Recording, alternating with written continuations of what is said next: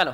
Hello hi good afternoon everybody this is CS Chitlangan आप सबका स्वागत है कॉर्पोरेट फाइनेंस के ब्रांड न्यू लेक्चर में। फ़िलहाल हम लोग देख रहे हैं अपना आईसीडीआर रेगुलेशंस इसको बोला जाता है issue of capital and disclosure requirements regulations 2018 इसमें हम लोगों ने पाँच, हम लोगों को एक्चुअली पाँच तरह के इशू के बारे में पढ़ना है। IPO FPO rights issue QIP and preferential right हम लोग का आईपीओ एफपीओ खत्म हो चुका है। एक लास्ट टॉपिक बस उसका बचा था डॉक्यूमेंटेशन से रिलेटेड वो अपने करेंगे। बट इसके पहले एक बार फटाक से रिवाइज कर लेते हैं कि हम लोगों ने क्या क्या क्या क्या डिस्कस किया था।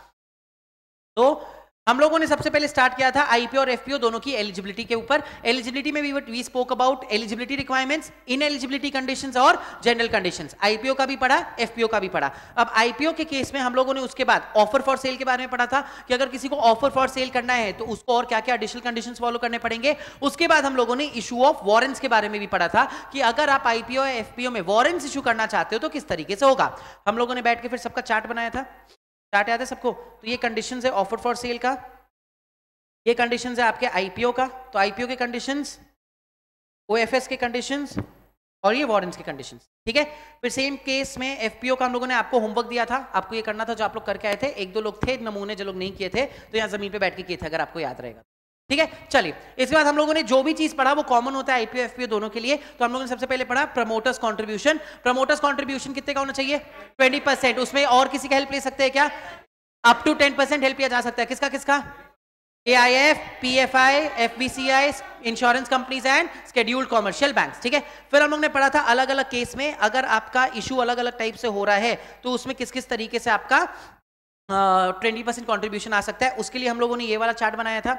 उसके बाद हम लोग आगे गए थे, हम लोगों ने देखा था कि कौन कौन सी सिक्योरिटीज होती है जो प्रमोटर्स कंट्रीब्यूशन के लिए एलिजिबल नहीं होती है और किसको, उसको एग्ज़ाम किया गया है, उसके लिए हम लोगों ने ये वाला चार्ट बनाया था। फिर लॉकिन पे आ गए थे हम लोग तो लॉकिन अच्छा फिर एफपीओ के बारे में पढ़ा था सेम ही था। फिर लॉकिन में आ गए थे तो promoters contribution lock in for 18 months और उसके एक्स्ट्रा कोई भी प्रमोटर होल्डिंग है तो six months entire pre issue capital lock in for six months अब अगर मान लो आपके प्रमोटर्स ने पैसा पहले ला दिया था तो आपको वो अच्छा पूरा प्रमोटर कॉन्ट्रीब्यूशन कितने दिन पहले आ जाना चाहिए? इशू स्टार्ट होने के एक दिन पहले बट अगर मान लो प्रमोटर्स ने पहले ही पैसा ला दिया था कंपनी में तो आपको क्या दिखाना पड़ेगा? कैश फ्लो स्टेटमेंट दिखाना पड़ेगा। ये सब चीज़ हम लोगों ने डिस्कस किया था। उसके बाद हम लोग ये एक बेसिक कर रहे थे कि लीड मैनेजर को कैसे अपॉइंट किया जाता है क्या क्या उसकी ड्यूटीज़ है इंटरमीडियरीज के साथ करेगा, ये बेसिक था। फिर आ गए थे ऑफ़र डॉक्यूमेंट ऑफ़र डॉक्यूमेंट में सबसे पहले कौन सा डॉक्यूमेंट बनाया जाता है? Draft offer document draft offer document के बाद जब आपका बुक बिल्ट इशू हो तो जो डॉक्यूमेंट बनता है उसको बोलते हैं आर आरएचपी तीसरा डॉक्यूमेंट बनता है जिसको बोलते हैं प्रोस्पेक्टस तो हम लोगों ने अलग अलग टाइप के प्रोस्पेक्टस एंड आरएचपी दोनों को देखा था। अगर मान लो फिक्स प्राइस मेथड है तो ड्राफ्ट ऑफ़ डॉक्यूमेंट एंड उसके जस्ट बाद प्रोस्पेक्टस होके चला जाता है राइट अब उसमें हम लोगों ने पढ़ा था कि ड्राफ्ट ऑफ़ डॉक्यूमेंट किस तरीके से बनाया जाता है क्या क्या डिस्क्लोजर्स दिए जाते हैं, आप सेबी से किस तरीके से वहाँ पे अप्रूवल कमेंट्स लेते हो और आप पब्लिक से किस तरीके से अप्रूवल कमेंट्स लेते हो। सेबी के पास कितने दिन का टाइम होता है? और पब्लिक के पास? तो सेबी के पास 30 डेज़ पब्लिक के पास 21 डेज़ ठीक है? तो उसका पूरा हम लोगों ने यहाँ पे पढ़ लिया था कि किस तरीके से किया जाता है, ये चार्ट के थ्रू फिर हम लोग आ गए थे प्राइसिंग पे। तो प्राइसिंग हम लोगों ने देखा था कि प्राइस और प्राइस बैंड कैसे फिक्स किया जाता है। प्राइस और अगर मान लो आप बुक बिल्ट इशू कर रहे हो तो आपको प्राइस बैंड देना पड़ेगा। प्राइस बैंड के केस में कितना डिफरेंस मिनिमम होना चाहिए?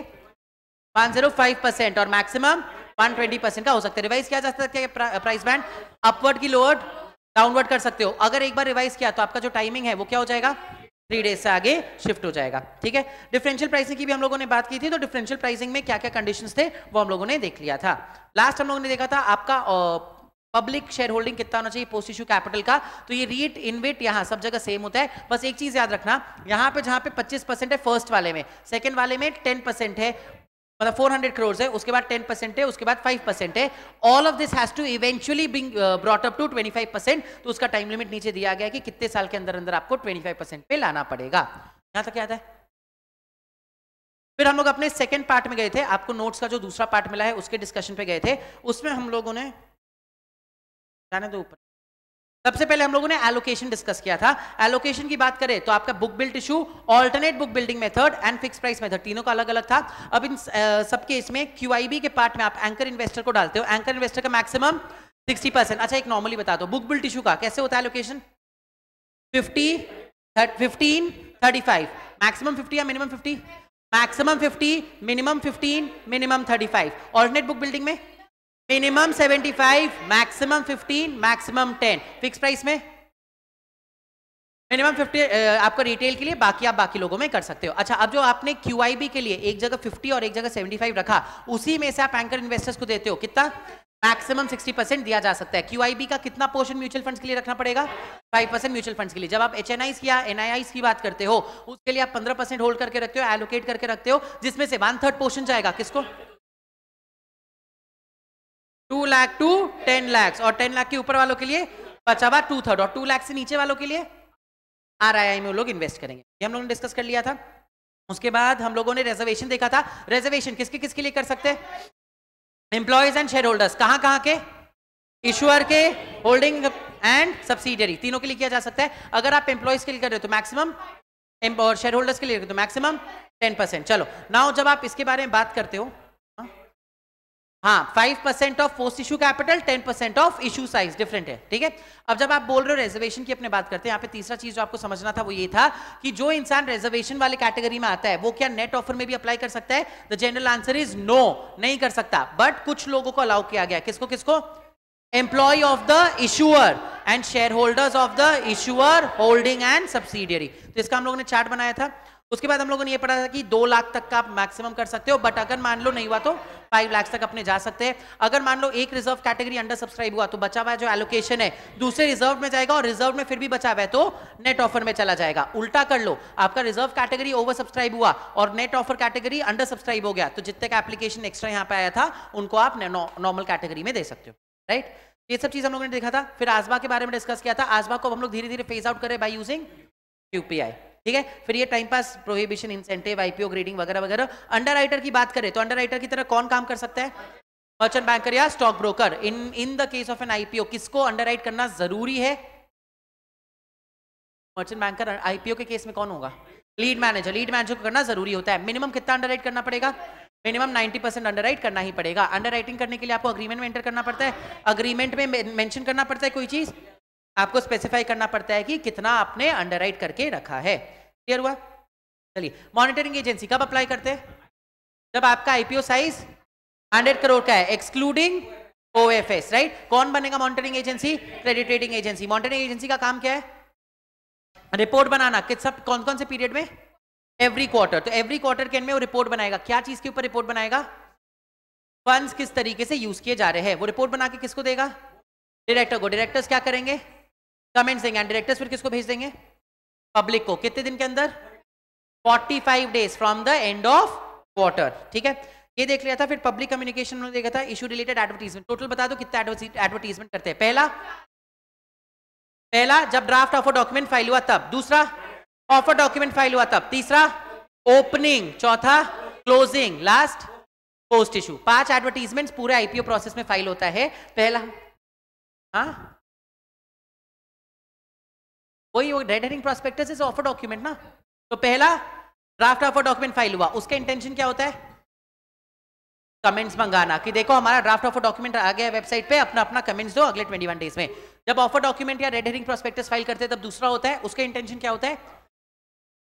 21 days for public 30 days for SEBI now जब अपने रेड हेरिंग प्रोस्पेक्टस या ऑफ़र डॉक्यूमेंट फ़ाइल करते थे, तब एक पब्लिक एडवर्टीजमेंट करते हो क्या बताने के लिए? कि देखो, हमारा अब ऑफ़र डॉक्यूमेंट चला गया मतलब हम आईपीओ तो लेके आ रहे हैं। तीसरा ओपनिंग के पहले करते हो। ओपनिंग के पहले क्यों ओपनिंग के टाइम पे करते हो? क्यों? कि अब हमारा ओपन होने वाला है। क्लोजिंग टाइम पे करते हो। क्यों? कि अब हमारा क्लोज हो गया। एंड लास्ट पोस्ट इशू जहाँ पे आप पूरा ज्ञान देते हो कि हम लोगों ने किस तरीके से एलोकेट अलॉट किया है। ठीक है? एक बात बताओ, कौन सा एडवर्टीजमेंट करना अलाउड नहीं? इशू के बीच में किससे रिलेटेड कितना सब्सक्राइब हो रहा है, कितने सब्सक्रिप्शन आ रहे हैं, उसका एडवर्टीजमेंट नहीं कर सकते हो। इन्फॉर्मेशन डिसेमिनेट कर सकते हैं क्या? इन्फॉर्मेशन डिसेमिनेट किया जा सकता है। कभी भी एडवर्टीजमेंट की बात करें, तीन जगह जाएगा। कहाँ कहाँ? इंग्लिश हिंदी वर्नाक्यूलर एंड हाँ? वर्नाक्यूलर रीजनल सेम ही होता है। ठीक है? चलो, कितने दिन आपका जो इश्यू होगा, वो कितने दिन के अंदर खुल सकता है? मतलब मिनिमम कितना दिन? Minimum minimum three days maximum twelve months जब आपका ऑफ़र डॉक्यूमेंट फ़ाइल हुआ, उसके बाद तीन दिन के बाद ही आपका इश्यू खुल सकता है और मैक्सिमम बारह महीने तक खुल सकता है, ठीक है? नाउ शेल्फ प्रोस्पेक्टस के केस में थ्री मंथ्स अच्छा इशू का पीरियड है, वो कितना हो सकता है? Minimum three maximum ten but in case of revision या स्ट्राइक आप उसको रिवाइज कर देते हो थ्री मंथ से, ठीक है? मिनिमम सब्सक्रिप्शन कितना आना चाहिए? नाइन्टी परसेंट का अपना मिनिमम सब्सक्रिप्शन आना चाहिए, ठीक है? अगर नहीं आया तो? रिफंड कर दोगे विद इन फोर डेज़ अच्छा वैल्यू के हिसाब से तो आपने बोला मिनिमम इतना आना चाहिए। नंबर्स के हिसाब से कितने एप्लीकेशन आने चाहिए? वन थाउज़ेंड आपके आना ही चाहिए। ऑफ़ सब्सक्रिप्शन हो गया। अलॉटमेंट एप्लीकेशन के केस में application can be within the period of within the range of ten thousand to fifteen thousand उसको क्या बोला जाता है? लॉट उसको क्या बोला जाता है? लॉट बोला जाता है। तो एप्लीकेशन हमेशा लॉट के मल्टीपल्स में ही जाएगा और अलॉटमेंट करोगे तो जिसको जिसको भी अलॉट करो मिनिमम एक लॉट करना ही पड़ेगा। तो मान लो ऐसा सिचुएशन हो गया कि मेरा एक लॉट हम सारे एप्लीकेंट्स को अलॉट कर देते हैं, उसके बाद भी कुछ शेयर्स बचते हैं तो बचे हुए शेयर्स आपके प्रो रेटा बेसिस में जा सकता है। बट ऐसा मान लो कि हम, अगर एक एक लॉट सबको अलॉट करने जाए तो बहुत ज़्यादा शेयर्स हो जाएँगे जितना हमने एलोकेट किया था, उससे ज़्यादा। तो इन दैट केस कुछ लोगों का पूरा एक लॉट एक्सेप्ट किया जाएगा और कुछ लोगों का पूरा एप्लीकेशन रिजेक्ट किया जाएगा। क्लासिक एग्ज़ाम्पल टाटा टेक्नो मेरा पूरा रिजेक्ट हो गया, मेरे भाई का पूरा एक लॉट एक्सेप्ट हो गया, ठीक है? चलो तो ये हम लोग देख लिया था, इसका दो केसेस भी हम लोग किए थे। अब मान लो, अगर कोई कंपनी है जो पैसा रेज कर रही है, क्या वो एक बार में मंगाना कंपलसरी है या कॉल से मंगा सकती है? कॉल से मंगाए तो अलॉटमेंट के टाइम पे कंपलसरी है, और पूरा पैसा कब मंगाना पड़ेगा? ट्वेल्व मंथ्स में बट ये ट्वेल्व मंथ्स का रिक्वायरमेंट कब नहीं लगता? अगर मॉनिटरिंग एजेंसी आपने लगा के रखा है तो ठीक है? के बाद हम लोगों ने रिफंड वगैरह का देख लिया था। अच्छा अलॉटमेंट रिफंड ये सब चीज़ अगर स्पेसिफाइड टाइम के अंदर नहीं करोगे तो क्या करना पड़ेगा? पंद्रह परसेंट के रेट पे इंटरेस्ट देना पड़ेगा। ठीक है? चलो। फिर post issue advertisement post issue advertisement हम लोग ने पढ़ लिया था इश्यू होने के बाद कितने दिन के अंदर? टेन डेज़ के अंदर अंदर। कौन करता है? लीड मैनेजर करेगा तो पूरा ज्ञान लिख के देगा इंग्लिश हिंदी और वनाकुलर न्यूज़पेपर में और स्टॉक एक्सचेंजेस की वेबसाइट में। उसके बाद हम लोगों ने देखा था पोस्ट इशू रिस्पॉन्सिबिलिटी ये देख लेना आप लोगों ने। रिलीज़ ऑफ़ सब्सक्रिप्शन मनी ये भी हम लोगों ने देख लिया था तो ये भी देख लेना। Reporting of transaction promoters and promoters group का कि अगर मान लो आप ड्राफ्ट ऑफ़ डॉक्यूमेंट से लेके क्लोजर के बीच में कभी भी कोई भी प्रमोटर ग्रुप ट्रांस कुछ भी तरह का ट्रांजेक्शन करता है 24 घंटे के अंदर अंदर आपको डिस्क्लोज करना पड़ता है। फर्दर कैपिटल इशू में हम लोगों ने देख लिया था। ये सब बहुत चिंदी चिंदी है। फिर अपने आ गए थे fast track FPO what is fast track FPO एक ऐसा एफपीओ जहाँ पे आपको ड्राफ्ट ऑफ़र डॉक्यूमेंट का रिक्वायरमेंट नहीं होता है, आप डायरेक्टली ऑफ़र डॉक्यूमेंट फ़ाइल करते हो। Why because that is the longest step वो सबसे ज़्यादा टाइम टेकिंग स्टेप होता है। आईपीओ के केस में फास्ट ट्रैक कर सकते हैं क्या? क्यों नहीं कर सकते? क्योंकि वो पहली बार लिस्ट हो रहा है, सेबी को उस पर एकदम भी भरोसा नहीं है। एफपीओ के केस में सेबी को भरोसा है। क्यों? बिकॉज़ वो कंपनी ऑलरेडी लिस्टेड है। दैट मीन वो कंपनी ऑलरेडी एलओडीआर को फॉलो करती है। उसके बाद बहुत सारा कंडीशन हम लोगों ने फास्ट ट्रैक एफपीओ के बारे में पढ़ा था which is important from the examination point of view तो आपको पढ़ना पड़ेगा। फिर लास्ट आगे थे हम लोग exit opportunity to the share holders exit opportunity किस केस में देना पड़ता है?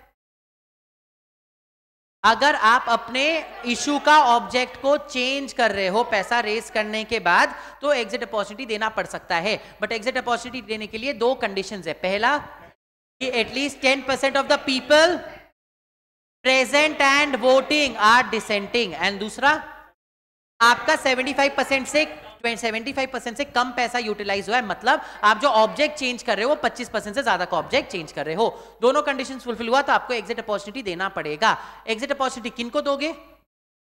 Dissenting share holders dissenting share holders मतलब वो शेयर होल्डर्स जिन्होंने प्रेजेंट थे मीटिंग में and they voted against the resolution अगर मैंने एब्सटेन किया वोट करने से तो am I dissenting share holder I am not a dissenting share ठीक है?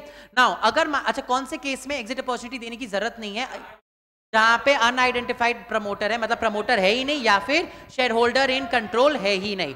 एग्जिट अपॉर्चुनिटी मतलब आप जो डिसेंटिंग शेयर होल्डर्स उनको क्या बोल रहे होते हो कि तुम अपना शेयर बेच के कंपनी से निकल जाओ, हम तुम्हारे शेयर खरीदेंगे। कौन खरीदता है शेयर यहाँ पे? प्रमोटर नहीं तो एग्जिट आपके शेयर होल्डर्स इन कंट्रोल इन दोनों में से कोई आपका शेयर खरीदेगा।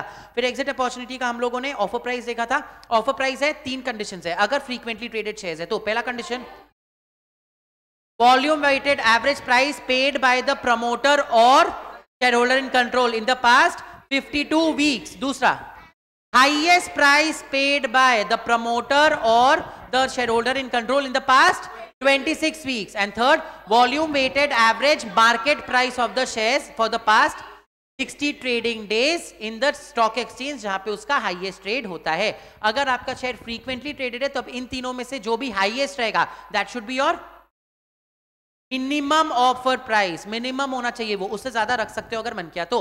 अगर नॉन फ्रीक्वेंटली ट्रेडेड शेयर है तो मर्चेंट बैंकर आके कराएगा। उसके बाद हम लोग ने कंडीशंस देखे थे, ये हमारा हो गया था। मैक्सिमम नॉन अच्छा मान लो अगर आप एग्जिट अपॉर्चुनिटी देने के चक्कर में इतने लोगों को दे देते हो कि आपका maximum non public share holding जो था वो ब्रीच कर जाता है। तो मिनिमम पब्लिक शेयर होल्डिंग कितना होना चाहिए? 25 परसेंट मान लो वो ब्रीच कर गया तो क्या करोगे?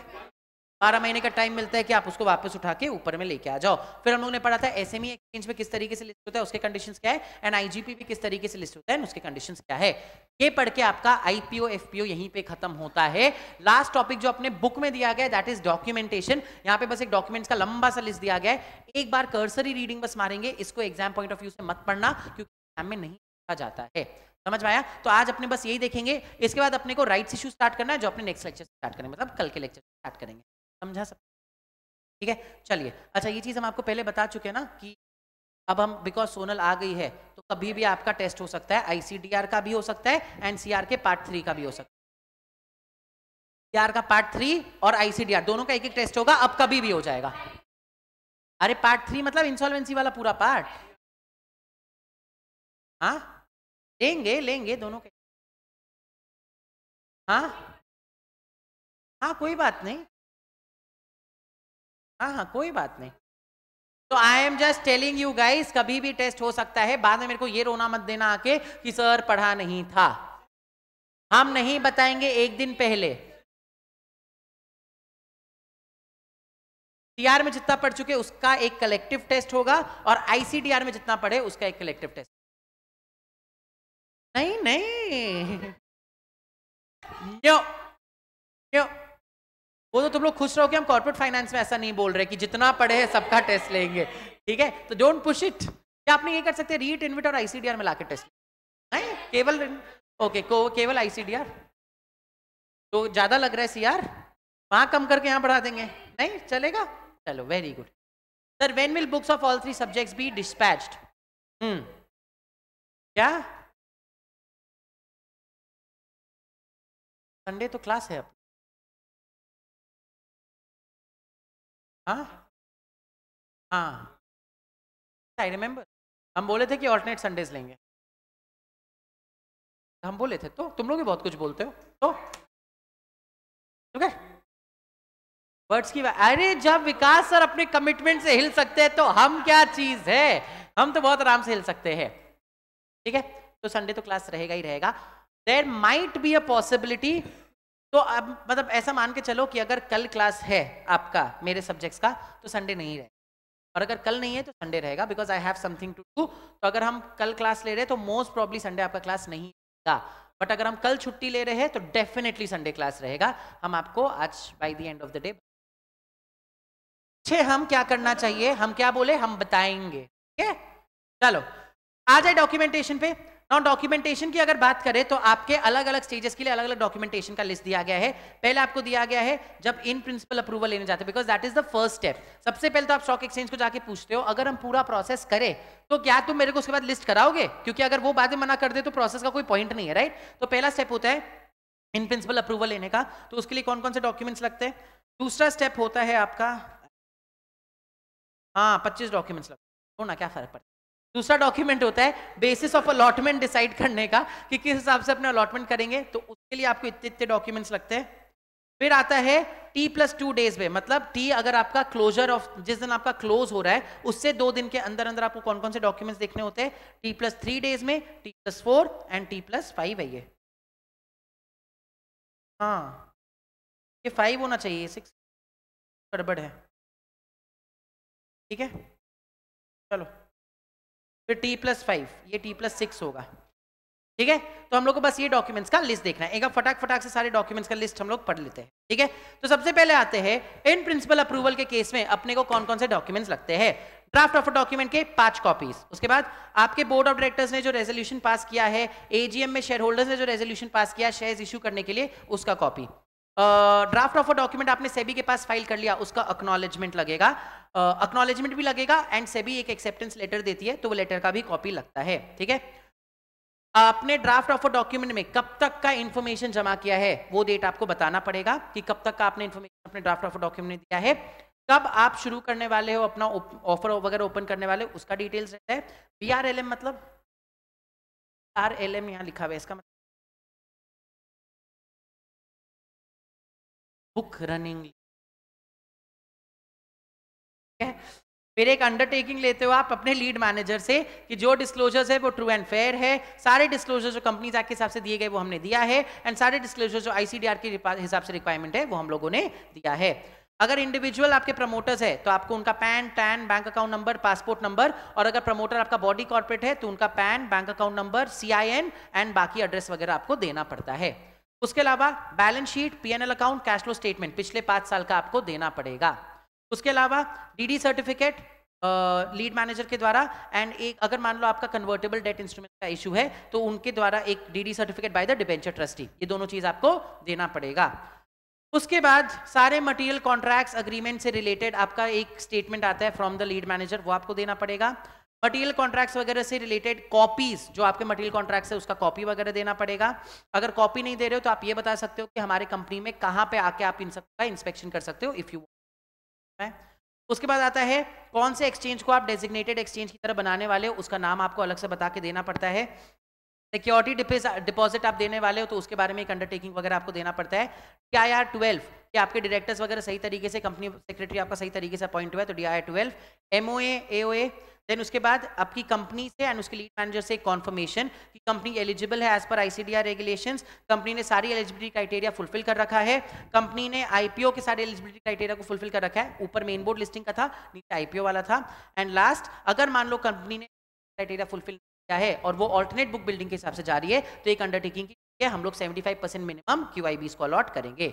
अगर OFS हो रहा है तो हम लोग को ये बताना पड़ेगा कि हमारे जो सेलिंग शेयर होल्डर्स है, उन्होंने सारे कंडीशन फुलफिल करके रखे हैं।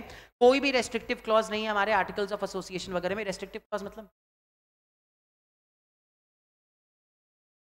तो अगर आईपीओ को करने से रोकने के लिए कोई ऐसा क्लॉज था तो पहले अमेंड करके उस क्लॉज को हटाओ और आपको एक अंडरटेकिंग देना पड़ेगा कि ऐसा कोई क्लॉज हमारे यहाँ पे नहीं करता है। ठीक है?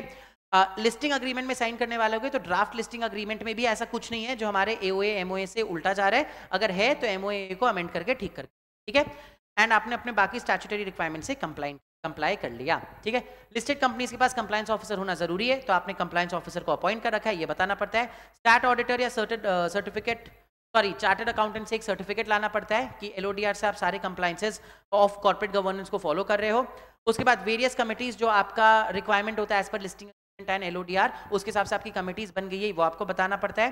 देन कोई भी आउटस्टैंडिंग ईसॉप है तो या कोई भी एम्प्लॉय बेनिफिट स्कीम अगर आप चला रहे हो तो उन सबका एक हिसाब बताना पड़ता है एंड आपको उसको सर्टिफाई करवा के लाना पड़ता है फ्रॉम द मर्चेंट बैंकर एक अंडरटेकिंग लेना पड़ता है कि आपने जो इन्फॉर्मेशन आज तक का दिया, वो तो ट्रू एंड फेयर है बट अगर कोई भी मटेरियल चेंज आता है मटेरियल डिफरेंस आता है आगे जाके तो आप तुरंत के तुरंत जाके इन्फॉर्म करोगे। हाँ अगर इससे पहले आपने कभी आईपीओ के डॉक्यूमेंट्स फ़ाइल किए स्टॉक एक्सचेंज के पास, लेकिन फॉर सम रीजन आईपीओ नहीं हो पाया तो उसका डिटेल्स आपको डिस्क्लोज करना पड़ता है। और आपकी ग्रुप कंपनीज़ का नेम आईएसआईएन एक्सचेंज जहाँ पे वो लिस्टेड है स्क्रिप्ट सिंबल या स्क्रिप्ट कोड स्क्रिप्ट मतलब जिस नाम से या शेयर्स ट्रेड होते हैं वो एंड अगर सस्पेंशन में है, वो लोग, उनका ट्रेडिंग सस्पेंड किया हुआ है तो किस किया गया ये आपके सारे लिस्टेड ग्रुप कंपनीज़ का आपको बताना पड़ता है। प्रोसेसिंग फ़ी देना पड़ेगा एंड एक अंडरटेकिंग देना पड़ेगा फ्रॉम द कंप्लायंस ऑफिसर कि हमारे कोई भी कंपनी के प्रमोटर्स डायरेक्टर्स या कंपनी आईसीडीआर के वायलेशन या वायलेशन नहीं वायलेशन नहीं कर रहे हैं। हम लोग सभी के सारे सर्कुलर्स को फॉलो करते हैं एंड डिविडेंड अगर किसी को वाला है तो हम लोगों ने पब्लिक इशू का उसमें कंसिडर करके डिविडेंड है। फटाक से रीड हाँ करो, हम नहीं जानते। हम इतना रीड करके बोले, तुम लोग भी रीड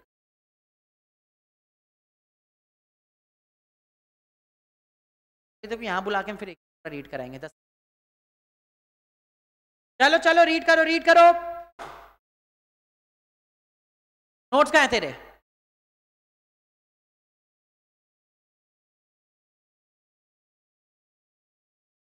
इधर आके बैठ।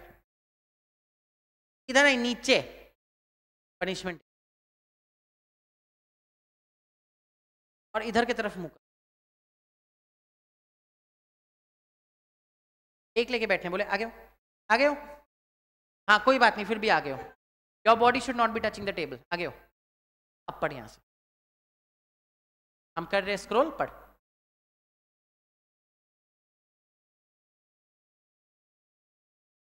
जब बी तक पढ़ लेगा तो बताना। ये है ना, वहाँ तक पढ़ लेगा तो आगे स्क्रॉल करेंगे। पढ़ो। पढ़ है कि तेरे को हाँ? इसको नोट्स मिला ही नहीं है इसके ऊपर बैठा हुआ है। इसको नोट्स मिला ही नहीं है और नहीं लाइए तो यहाँ ऊपर बैठी हुई है। तो क्यों नहीं पड़ेगा एक्स्ट्रा नॉलेज आगे देना है ना? हाँ बता। वो हाफ़ सी ए बन के आर्टिकलशिप करने गया और सी एस बन के आर्टिकलशिप करने गया और कंपनी आईपीओ पे चली गई तो पता होना चाहिए। डॉक्यूमेंट्स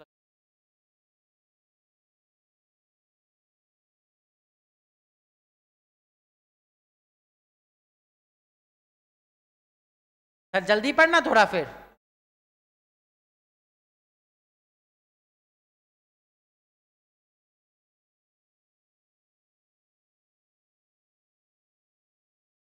पढ़ना मतलब हाईलाइट हुआ हुआ होना चाहिए। हाईलाइट है वो। नहीं। मेरे को मन है हाईलाइट का। मार नोट्स मार रूल्स। चलो हाईलाइटर निकाल। कौन सा ऐसे बहुत पढ़ के निहाल करने वाला, ये वाला पार्ट तुम? बहुत ही डॉक्यूमेंटेशन इसके बाद जैसे पढ़ेगा कभी लाइफ में उठा, हा? हाईलाइटर उठा हाईलाइट कर।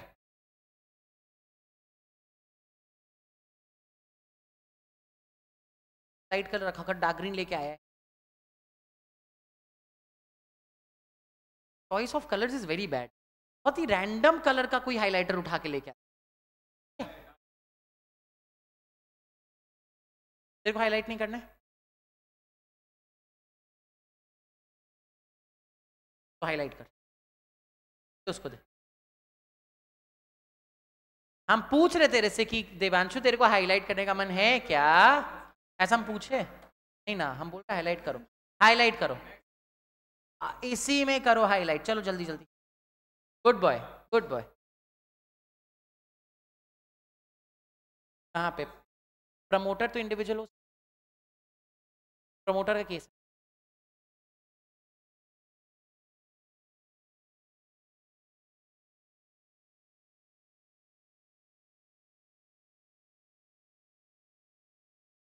डॉक्यूमेंट हम पाँच साल का मंगा। अगर मान लो मेरे को थर्ड जो फ़र्स्ट ईयर डाउट हुआ तो उसके पहले वाला हाँ इतना क्वेश्चन तो आज तक नहीं पूछा ये। गुड गुड पढ़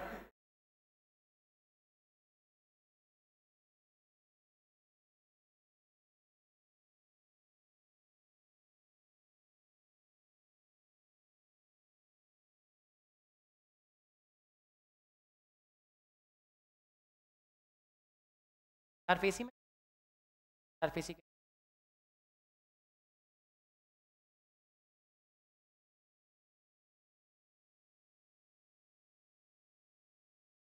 बोलते, तेरे को पहले रख ले उसका, नाटक कर रहा था।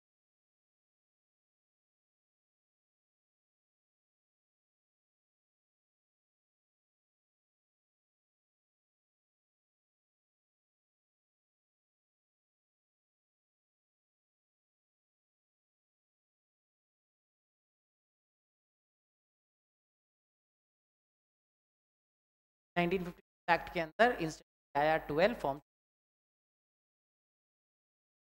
अगर मान ले 2013 के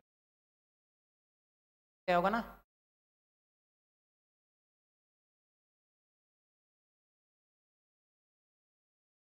सारे पॉइंट्स पढ़े रैंडमली कोई वर्ड मिल जा रहा है, उस पर क्वेश्चन पूछ रहा है। ये बताना जरा। चलो, पढ़ा है। Very good good boy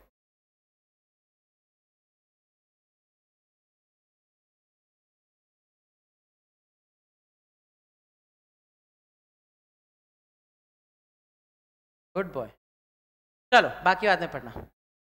अब आते हैं नेक्स्ट बेसिस ऑफ़ अलॉटमेंट से रिलेटेड कौन कौन से डॉक्यूमेंट्स अपने को लगते हैं? जो आपने फाइन अच्छा अलॉटमेंट का बेसिस का फाइनलाइज कर रहे होगे? जब आपका बुक बिल्डिंग इशू में पूरा का पूरा आपका वो आ गया होगा, क्या बोलते हैं, सारे बिट्स आ गए होंगे? मतलब ऑब्वियसली बात है, आपने जो फाइनल प्रोस्पेक्टस है, उसका कॉपी फ़ाइल कर ही दिया होगा। तो उसका कॉपी किस तरीके से आपने अलॉट किया है, उसका एक कॉपी उसके बाद कैटेगरी वाइज कितने कितने आपने एक्सेप्ट किए, कितने कितने रिजेक्ट किए, उन सबका application number category name address PAN DP ID client ID quantity price and reason for rejection किसका किसका रिजेक्ट किया वो भी आपको बताना पड़ता है। स्टैचुटरी एडवर्टीजमेंट जो जो अपने को एडवर्टीजमेंट करना था ओपनिंग के टाइम क्लोजिंग के टाइम फाइलिंग के टाइम जो पाँच स्टैचुटरी एडवर्टीजमेंट्स थे, वो वाले आपका एडवर्टीजमेंट का कॉपी क्या आपने सही तरीके से किया है कि नहीं किया है? ऑडिटर का सर्टिफिकेट जिसमें ऑडिटर ये सर्टिफाई करेगा कि मिनिमम प्रमोटर्स कंट्रीब्यूशन हमारा आ गया है। एंड अगर मान लो प्रमोटर्स कंट्रीब्यूशन आया है with the help of the helpers तो वह हेल्पर्स ने कितना कितना ले आया है? ठीक है? और मतलब जितना भी अपना प्रमोटर्स कॉन्ट्रीब्यूशन आया है, वो आईसीडीआर के कंप्लायंस के हिसाब से ही आया है। ठीक है? एक एमडी या कंपनी सेक्रेटरी से डिक्लेरेशन कि हमारे अगेंस्ट कोई भी प्रोहिबिशन ऑर्डर नहीं है with respect to this issue तो हमारी कंपनी प्रोहिबिटेड नहीं थी ये करने से। कॉन्फर्मेशन कि क्यूआईबी कैटेगरी में केवल क्यूआईबीज ने ही इन्वेस्ट किया है एंड कोई भी क्यूआईबी ने एक नॉन क्यूआईबी कैटेगरी मतलब एच या आर वाले कैटेगरी में इन्वेस्ट नहीं किया है। किस हिसाब से आपने अलॉटमेंट कैलकुलेट किया तो उसका पूरा बेसिस ऑफ़ अलॉटमेंट का तैयारी किस हिसाब से आपने डिसाइड किया है? फाइनल सर्टिफिकेट जो आपने इशू किया है, उसका वेरिफिकेशन कंट्रोलिंग ब्रांच क्या होता है? तो आपका जितना भी सेल्फ सर्टिफाइड सिंडिकेट बैंक होते हैं ना, उनके बहुत सारे ब्रांचेज होते हैं, उनमें से किसी एक ब्रांच को वो कंट्रोलिंग ब्रांच बनाते हैं और बाकी ब्रांचेज उसके नाम याद नहीं आ रहा। बाकी सारे ब्रांचेस उसके डेजिग्नेटेड ब्रांचेस होते हैं ठीक है? अब होता क्या है, जैसे मान लो एच बैंक है। एच बैंक है तो बहुत सारे ब्रांचेस है। तो एच बैंक का जो मेन ब्रांच है that will be the controlling branch और बाकी जितने ब्रांचेस है ना, वो सारे हो जाएँगे उसके डेजिग्नेटेड ब्रांचेस तो सारे डेजिग्नेटेड ब्रांचेस एप्लीकेशन एक्सेप्ट करेंगे। वो एप्लीकेशन को फॉरवर्ड करेंगे कंट्रोलिंग ब्रांच के पास। कंट्रोलिंग ब्रांच पर जाके फॉरवर्ड करेगा कंपनी के पास। तो कंपनी को केवल आपके कंट्रोलिंग ब्रांच के साथ बात करना होता है। वो एक एक ब्रांच के साथ बात नहीं करेगी। नहीं तो इमेजिन करो, कितने ब्रांचेस होते हैं एक बैंक के? वैसे ही दस बैंक आ जाए तो दस बैंक से कितने ब्रांचेस होंगे? तो हम बोलते नहीं, हर बैंक अपना एक कंट्रोलिंग ब्रांच बना के रखेगी। तो भाई, आपने जो फाइनल सर्टिफिकेट इशू किया है कंट्रोलिंग ब्रांच को, फिर कंट्रोलिंग ब्रांच अपने डेजिग्नेटेड ब्रांच को देगी, वो अपने शेयर होल्डर्स को दे देगा। तो वो बताना पड़ता है इलेक्ट्रॉनिक बिट्स जो आए थे, उनका किस तरीके से वैलिडेशन वगैरह चेक किया गया था? एंड अगर मान लो पैन मिसमैच हुआ किसी एप्लीकेशन में, जिसके लिए आपने सेबी से एग्जामेशन लिया था तो उसका पूरा डिटेल्स बताना पड़ता है। समझ आया सबको? चलो ये रीड कर लो। आगे खसक के बैठ रहे कि नहीं? आगे। और आगे। थोड़ा बीच में बैठ, चला गया चलो रीड करो बेसिस ऑफ़ अलॉटमेंट से रिलेटेड डॉक्यूमेंट्स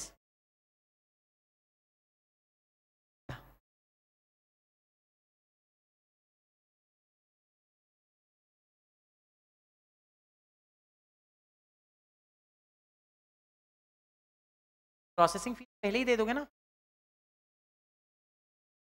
मतलब हाँ अगर पूछो किस कैटेगरी में जाएगा तो it will be a part of general corporate purpose only but general corporate purpose का पैसा आपको इशू के बाद आ रहा है प्रोसेसिंग फ़ी आप पहले ही दे देते हो।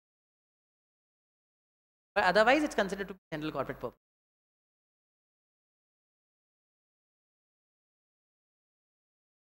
क्या फिर तंबाकू खा रही है।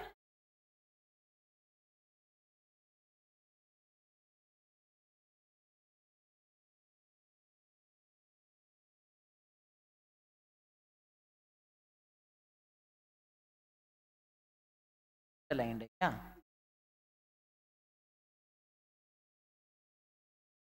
पढ़ के अंडरलाइन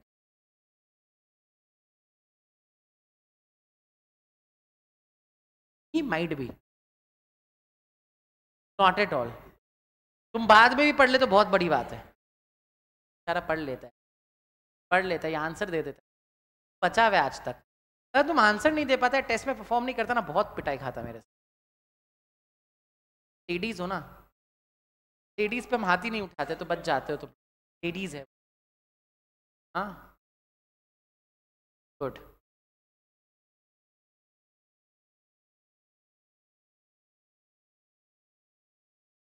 चलो, अब देखते हैं टी प्लस टू डेज़ में कौन कौन से डॉक्यूमेंट्स जमा किए जाते हैं। मर्चेंट बैंकर ने जितने भी डीडी सर्टिफिकेट्स दिए थ्रू आउट द प्रोसेस वो सारे डीडी सर्टिफिकेट जमा करोगे। सेबी ने जो ऑब्जर्वेशन लेटर दिया था आपके ड्राफ्ट ऑफ़ डॉक्यूमेंट के बाद, वो ऑब्जर्वेशन लेटर दिया जाएगा। जितने भी ऑथराइज सिग्नेटरीज है, उन सबका स्पेसिमेंट सिग्नेचर आपको देना पड़ेगा ना। नहीं तो लोग बाद में जाके कुछ भी साइन कर देंगे, बोलेंगे, हम विकास हो रहा है, लो बैंक से पैसा निकालो। तो वो तो नहीं चल सकता ना। तो सबका स्पेसिमेंट सिग्नेचर पहले ही आप सेबी के पास जमा करके रखते हो। लीड मैनेजर के द्वारा एक कॉन्फर्मेशन की अंडर जो है, अगर अंडर के ऊपर कोई भी ऑब्लिगेशन आया है तो उनको नोटिस जा चुका है। हम लोग ने पढ़ा था, सात दिन के अंदर नोटिस जाना पड़ता है, ठीक है? लीड मैनेजर से आपका एक सर्टिफिकेट कि हम लोग को मिनिमम सब्सक्रिप्शन आ गया है whether by way of under और नॉट ठीक है? एक कंफर्मेशन कंपनी के द्वारा कि जितने भी इन्वेस्टर ग्रीवेंसेस थे आ, उनके लिए हम लोगों ने ईमेल आईडी बना दिया है और वहीं पे सारे इन्वेस्टर ग्रीवेंसेस आएँगे। जितना भी एडवर्टीजमेंट आपने अभी तक इशू किया था उन सबका एक एक कॉपी और कंपनी के द्वारा एक कॉन्फर्मेशन कि हम लोगों ने स्कोर्स के ऊपर ऑथेंटिकेशन ले लिया। स्कोर्स किस लिए है? ग्रीवेंस रिड्रेसल के लिए। वेरी गुड चलो रीड करो सब लोग। आइडिया हाँ? हाँ क्या होता है? एस एल सी एम का जो पढ़ा है भूल गया? इसलिए तुम लोग को सारे सब्जेक्ट्स दो दो बार पढ़ाए जा रहे हैं। एस एल सी एम में पढ़ाए फिर सेम चीज़ उठा के यहाँ पढ़ा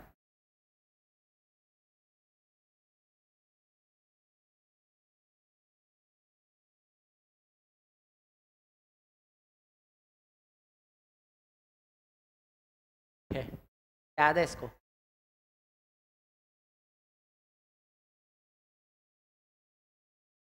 बोल रही थी, बेचारी ट्राई कर। उसको बी आर एल एम इतना अच्छे से याद था। कोर्स भी कुछ ना कुछ तो बोलती। हाँ हाँ बी आर एल एम एकदम सही बोली थी बोर्ड रेजोल्यूशन लीड मैनेजर हाँ redressal is RE. Complaint is CO. Redressal is RE and S. किसने लिखा? वो हम लिखवाए थे। तुम और ये लिखा था ना? वो अच्छा हाँ। तो तुम लिखा था तो दर्द उसको हुआ ना तो इसलिए उसको याद हो गया, समझाया। अच्छा ओ अच्छा आई थॉट एक ही का बात हो रहा है, ठीक है।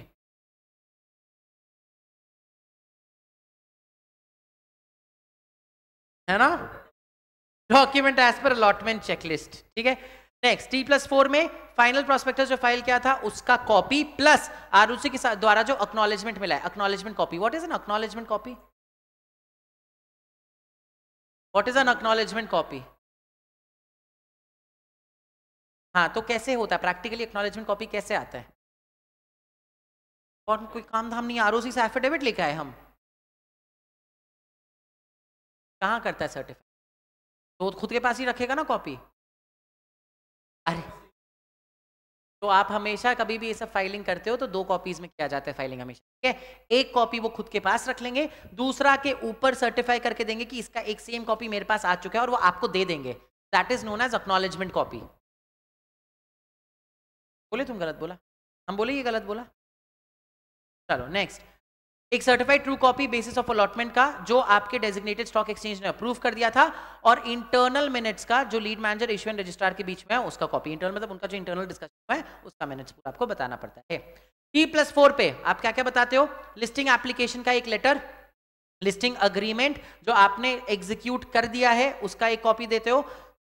बोर्ड ऑफ़ डायरेक्टर्स का एक रेजोल्यूशन जहाँ पे वो लोग ने ऑफिसर को ऑथराइज किया जो साइन एंड एग्जीक्यूट करेगा इस लिस्टिंग अग्रीमेंट को। देन ट्रू ये रेजोल्यूशन जो बोर्ड ऑफ़ डायरेक्टर से पास किया for allotment of securities statutory auditor से एक सर्टिफिकेट जहाँ पे वो बोलेंगे कि अलॉटमेंट हम लोग ने जो भी किया है वो सारा बेसिस ऑफ़ अलॉटमेंट के हिसाब से किया है। शेयर सर्टिफिकेट्स का पूरा हिसाब देंगे कि नंबर ऑफ़ सिक्योरिटीज क्या थी, उनका क्या डिस्टिंक्टिव नंबर्स था लॉक इन डेट वगैरह क्या था एंड एम्प्लॉयज़ का कोटा हम लोगों ने अपने परमानेंट या रेगुलर एम्प्लॉयज़ को किया है। ये एक सर्टिफिकेट आपको लेना पड़ता है फ्रॉम द स्टैचुटरी ऑडिटर ठीक है?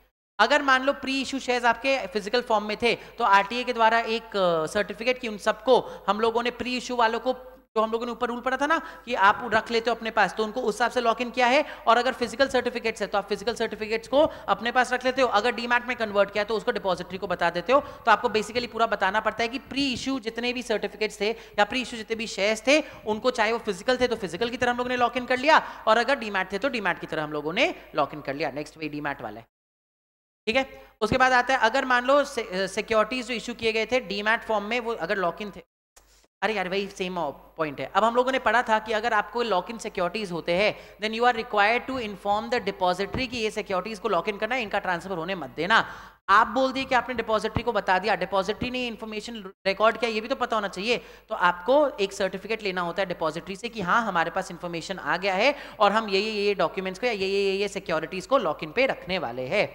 शेयर होल्डिंग पैटर्न बताना पड़ता है pre issue issue and post issue तीनों शेयर होल्डिंग पैटर्न आपको बताना पड़ता है और जितने भी स्टैचुटरी एडवर्टीजमेंट आपने दी थी एक कॉपी देना पड़ता है। आपने एलओडीआर से कंप्लाई किया है उसका सर्टिफिकेट ऑफ़ कंप्लाइंस ला आना पड़ता है आपको। आ, आपने हाँ जो करंट इशू किया था, उसका पूरा डिटेल्स बताओगे, कितने वैलिड थे, कितने आए थे, कितने अलॉट हुए थे, कितने इक्विटी शेयर्स किसको अलॉट हुए थे, वो पूरा हिसाब वापस बताते हो।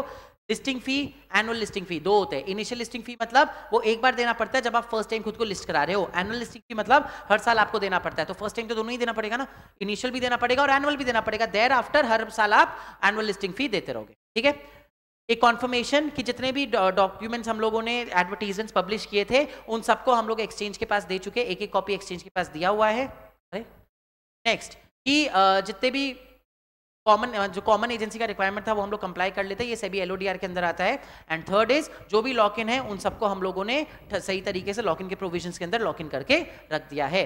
अगेन जो मटेरियल कॉन्ट्रैक्ट थे, उन सबका सर्टिफाइड ट्रू कॉपी आपको देना पड़ता है। अगर आपने पहले सर्टिफाइड ट्रू कॉपी नहीं जमा किया था तो लीड मैनेजर से कॉन्फर्मेशन आपको लेना पड़ता है कि हम बाकी के सारे लॉस को कंप्लाई करने वाले हैं। जितने भी सिक्योरिटीज आपने इशू किए, उन सबका एक पूरा हिसाब सॉफ्ट कॉपी में आपको देना पड़ता है एक्सेल के फॉर्म में एंड पीडीएफ के फॉर्म में, दोनों फॉर्म में आपको देना पड़ता है। जितने भी अलॉटीज थे, उन सबका एड्रेस सबका कैटेगरी कौन से कैटेगरी में कैसे आए थे, किसको कितने शेयर्स गए थे, वो पूरा हिसाब आपको देना पड़ता है। आपने ऑथेंटिकेशन स्कोर से ले लिया, वो आपको बताना पड़ता है। पूरा जितने भी नॉन सिंडिकेट मेंबर्स थे आपका, उनको कितना कमीशन पे किया गया है ये आपको बताना पड़ता है। अब जो certified self certified syndicate banks थे, जो बाकी के लोग थे, जो अपने सर्विसेज़ प्रोवाइड किए थे इंटरमीडियरीज सब कमीशन लेंगे ना तो किस इंटरमीडियरी को आपने कितना कितना कमीशन दिया है, वो आपको बताना पड़ता है। अब कमीशन अपने हिसाब से आप नहीं दे सकते हो। सेबी ने सब कमीशन के लिए सर्कुलर निकाल के रखा हुआ है, कि इसको कमीशन दे रहे हो तो हिसाब से कैलकुलेट होगा, इसको कमीशन दे रहे हो तो हिसाब से कैलकुलेट होगा। तो आपने सेबी के उस सर्कुलर को फॉलो किया एंड फिर कमीशन दिया है ये आपको सर्टिफाई करके देना पड़ता है। कमीशन कमीशन कमीशन है। फिर आपका किस दिन लिस्ट होने वाला है और आपका स्क्रिप्ट सिंबल आप क्या लेके चल रहे हो वो आपको बताना पड़ता है। एक अंडरटेकिंग लेना पड़ता है कंप्लायंस ऑफिसर से इन सब के बारे में। कंपनी का सिन पैन टैन और जीएसटिन और प्रमोटर्स का डीआईएन और पैन ये आपको बताना पड़ता है। ठीक है? एंड लास्ट है टी प्लस फाइव डेज़ में। अगेन रजिस्ट्रार्स और लीड मैनेजर से आपको ये सब, एक सर्टिफिकेट लेना पड़ता है या एक सर्टिफाइड ट्रू कॉपी लेना पड़ता है कि जितने भी आपने सर्टिफिकेट्स वगैरह थे वो सारे के सारे डिस्पैच हो गए हैं। डिपॉजिटरी से कॉन्फर्मेशन लेना पड़ता है कि अगर डीमैट फॉर्म में था तो आपने क्रेडिट कर दिया शेयर होल्डर्स के अकाउंट में। एक रजिस्ट्रार से आपको सर्टिफिकेट लेना पड़ता है, एक रिकन्सिलियेशन स्टेटमेंट लेना पड़ता है कि आज के दिन में जो अपना स्टेटमेंट दिख रहा है प्री इशू पोस्ट इशू पूरा सब चीज़ टैली कर रहा है कि नहीं कर रहा है एंड अलॉटमेंट का एडवर्टीजमेंट आपने कैसा बना के दिया लेना पड़ता है। एंड इसी के साथ अपना आईपीओ एफपीओ का डिस्कशन खत्म। डॉक्यूमेंट्स आगे जाके पढ़ना, मत एग्ज़ाम में चलो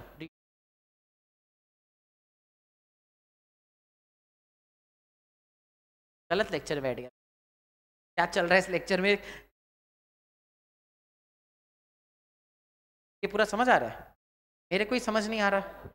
तेरे को समझ आ जा रहा। तो बोल रहे गलत लेक्चर में बैठ गया तुम कल के लेक्चर में मज़ा आता। कल तो एग्जैक्ट अपॉर्चुनिटी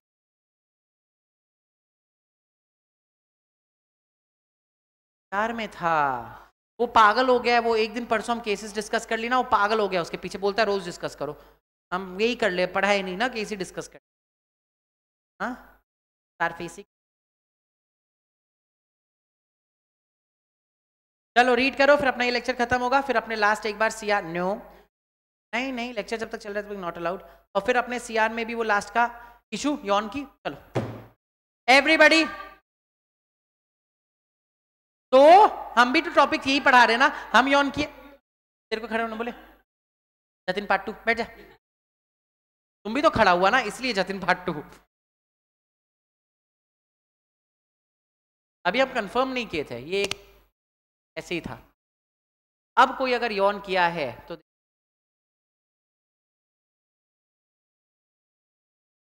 नहीं it applies to CR also CR में भी एक बार भी कोई यौन किया, तुम लोग खड़े रहोगे। लास्ट वार्निंग मिल गया आज का तुम ये लेक्चर अभी चल रहा है, अभी रीड करे ना पैसे बैठा। रीड करो, चलो। ऑनलाइन वाले बच्चों, समझ में आया सबको?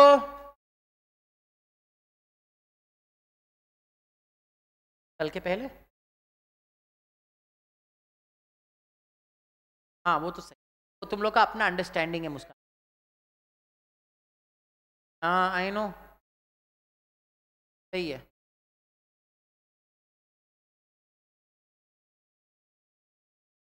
नहीं तो तुम लोग को सैटरडे भी सुबह से शाम पढ़ना पड़ जाएगा और संडे भी सुबह से शाम पढ़ना पड़ जाएगा। ऐड है। चलो एनी हूँ चिराग सर नहीं लेंगे, विकास नहीं लेंगे, मुस्कान मैम ही खींचे। हाँ तुम लोग का मुँह चलता नहीं उनके सामने, तुम लोग का मुँह चलता केवल मेरे सामने है। कल ही तो हम तुम लोग ज्ञान देके गए। सर का टू मच हो रहा है, अब वो बोलेंगे एक्स्ट्रा क्लास तो बोल देना नो नॉर्मल क्लास तो लेंगे ही वो अपना एक्स्ट्रा हाँ? क्या एटीट्यूड था मेरे साथ भी रखना? कि नहीं, अगर वेब सर ने बोल दिया, पढ़ाना है एक्स्ट्रा तो पढ़ना ही है, फिर चाहे छह से आठ घंटा पढ़ना पड़े एक ही सब्जेक्ट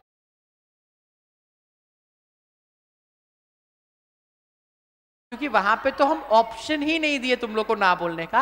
हम बहुत पहले से बोल के रखे थे हाँ?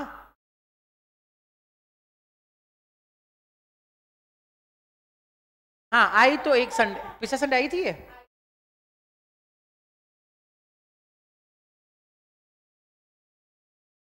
बच कैसे गया अच्छा तुम घर गया हुआ था और कौन नहीं आया था पिछले से ऑनलाइन अटेंड कर रहा था, इसलिए। और और कोई था? और इसका तो गैंग मीटअप बट आया था आधा लेक्चर के लिए और अखिलेश भी ऑनलाइन अटेंड कर रहा था करेक्ट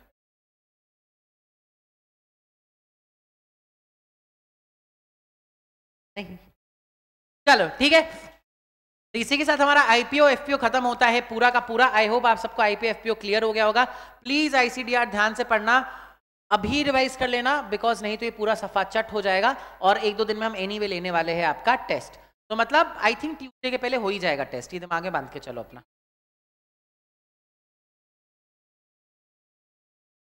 क्या बोले अभी?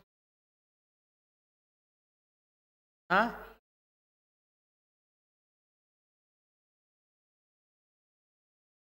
सैटरडे संडे में कर ली। नहीं, दो दिन मतलब सैटरडे संडे हो गया ना? कुछ भी नहीं। अच्छा तो वेट करते क्या? ओ, आएगी सोनल, तब पढ़ेंगे। फेयर गेम यही है कि हम डेट नहीं बताएँगे, हम कभी भी कुछ भी पढ़ सकते हैं। I might consider your I might consider your request but why तुम 24 तारीख बोल के गई थी, आई है तीस तारीख को, शर्म आ रही है?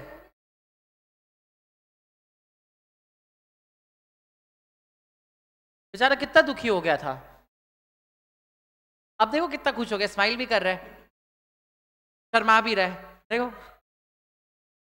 चलो, ठीक है। तो ऑन दिस नोट फिर आज का लेक्चर को हम लोग यहीं पे करते हैं। खत्म। आप ये अभी हम खत्म। हाँ? खत्म? अभी हम चलो। तो ऑन दिस नोट फिर आज का लेक्चर को यहीं पे करते हैं। खत्म। आप सबसे मिलेंगे हम कल सेम टाइम सेम प्लेस कल अपने स्टार्ट करने वाले अपना तीसरा टाइप का issue that is right issue तो मिलते हैं कल सेम टाइम सेम प्लेस तब तक के लिए हँसते रहिए, खुश रहिए। धन्यवाद। बाय और अपना सीआर स्टार्ट होगा पंद्रह मिनट बाद। Let start by three forty five आराम से, ठीक है? हाँ क्या? ये बोले हम। इतना आवाज़ लेके बास लेंगे पागल।